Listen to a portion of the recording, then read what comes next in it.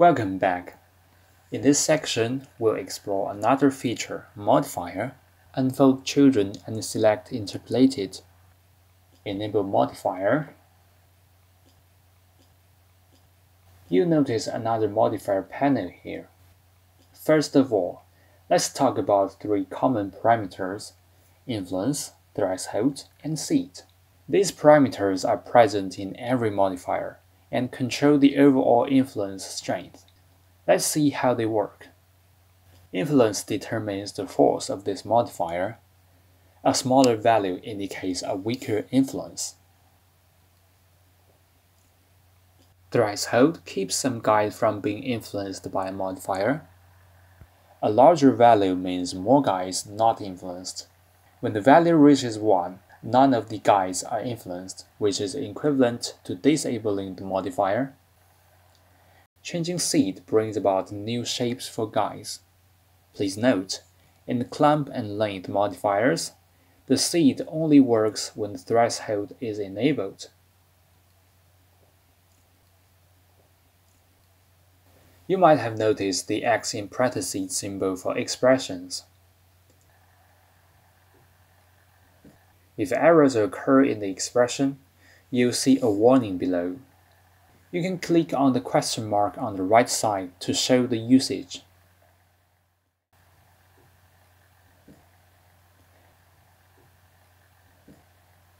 Okay, let's go through a few variables. Underscore clamp underscore length changes with the length of guides. For example, if we apply this variable to influence, the value of influence will change according to the guide's length. Please note that this variable only works in the current modifier. Next, we add a noise modifier.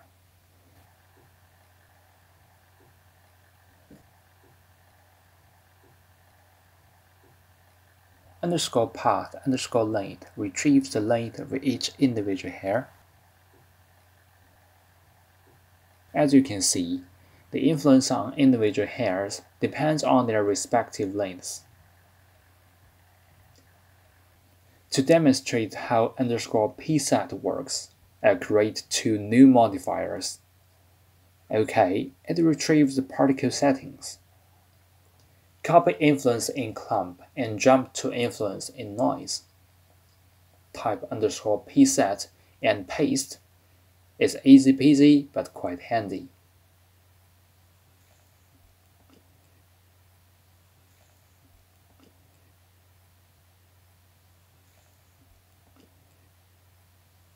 Underscore mod is a list of all modifiers used to access attributes in another modifier.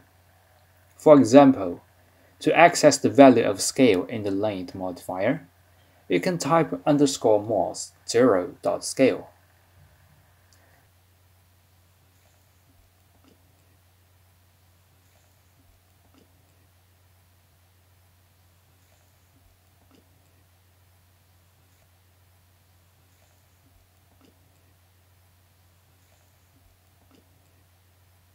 You can also directly access the name of the modifier. This way, the expression is not influenced even if you adjust the order of modifiers. The second button provides influence range control using vertex groups. After clicking it, you'll find all the vertex groups. Select one as needed and make changes. The double-headed arrow reverses the vertex group, and the cross removes it. Under the Vertex Groups panel, there are two new buttons, Rename Vertex Group and Remove Vertex Group. You might wonder why we added these when similar features already exist. Actually, if you directly modify the name, the newly modified name cannot be updated automatically. However, using rename vertex group to modify the name works without issues. Similarly, if we don't use this feature to remove a vertex group, errors can occur.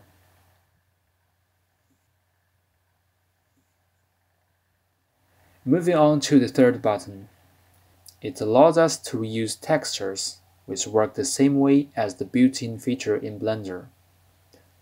Click the plus button to create a new texture.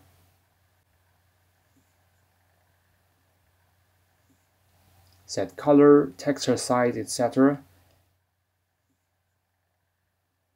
We can paint it randomly just to see how it operates.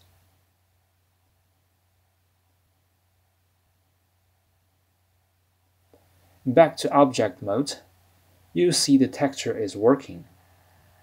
There's also a double-headed arrow that reverses the texture in use. The next button allows you to edit some options of the texture.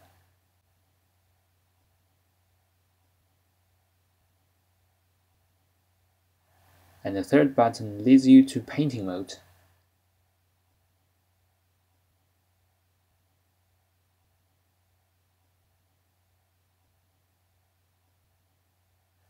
On the far right, the button lets you add weight layers.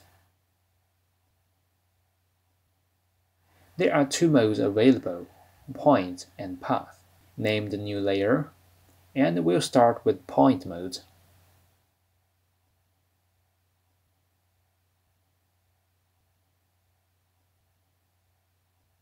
Create one more weight layer and select path mode as needed.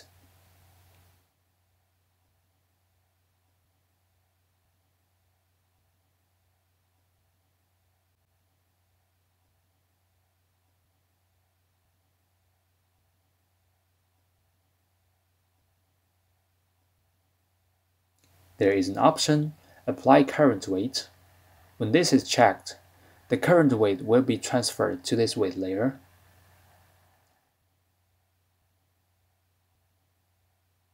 Default weight sets a default value for this weight layer.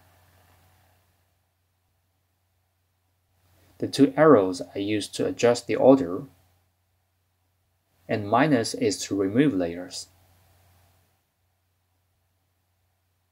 The render button determines which weight layer will be used in dynamic simulation.